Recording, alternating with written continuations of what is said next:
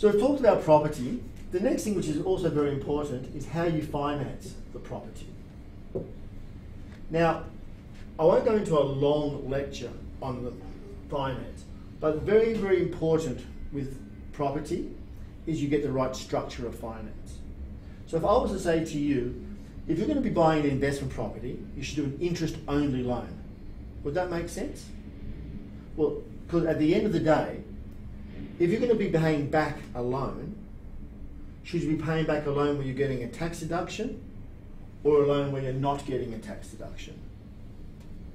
So it's very important to look at which loan we repay first versus which we don't repay.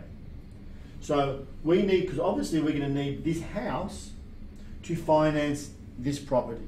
Because no bank is going to lend you 100% or 100% plus cost just on that property. They're going to want to take your house as security as well.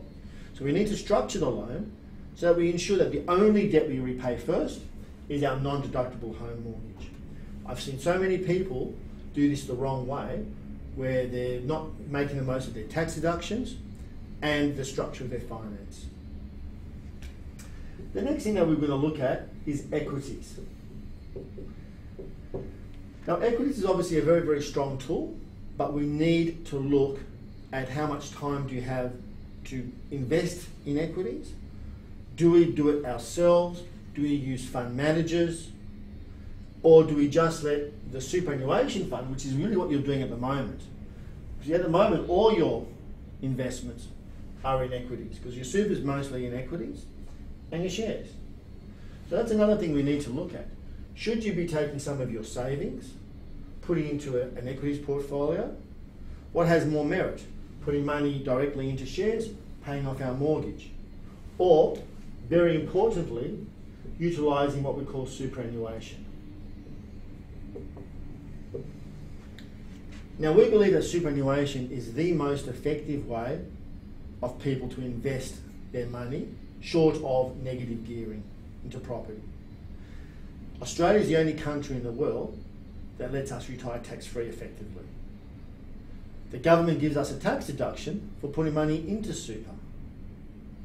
So I believe superannuation should form an integral part of anybody's way of creating assets. Because when we get to here, we may not even need $60,000 because that's a $60,000 assuming you're paying tax. If we can get a lot of that paid tax free, that will take a lot of pressure off this amount. So I believe that we need to look at the ways you're contributing into super, i.e., should you be putting more via salary sacrifice? Should we be taking advantage of the other government regulations? Should we be looking at how we're going to draw our pensions in the future? The other thing we can also look at is the merits of do we go with a manager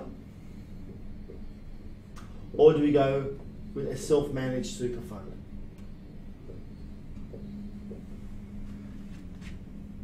Now, one of the things you have expressed is interest in setting up your own superannuation fund. These are some of the things that we will need to look at. Do you want to take the responsibility of running your own self-managed super fund? Do you want to look at the opportunities at the moment of investing in property through superannuation? We have a now a, a limited, I would say, time opportunity where we can use our superannuation to gear into property. What it would mean though is that we have to increase our contributions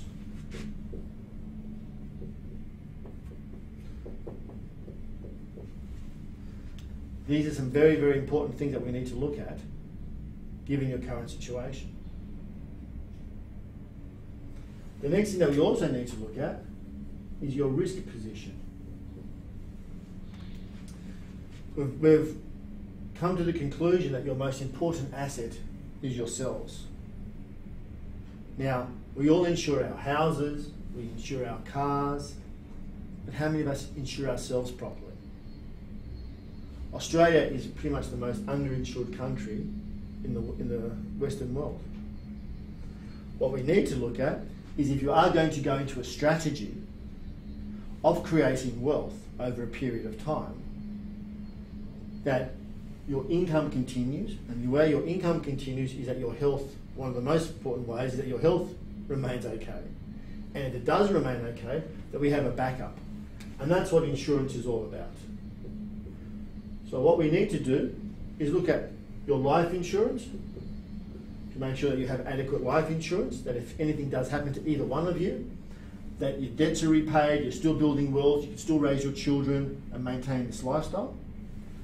That if you get disabled, you either get a lump sum or your income continues.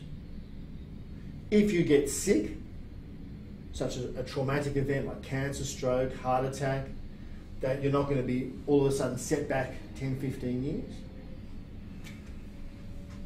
So we need to look at protecting your life in terms of your assets and your income.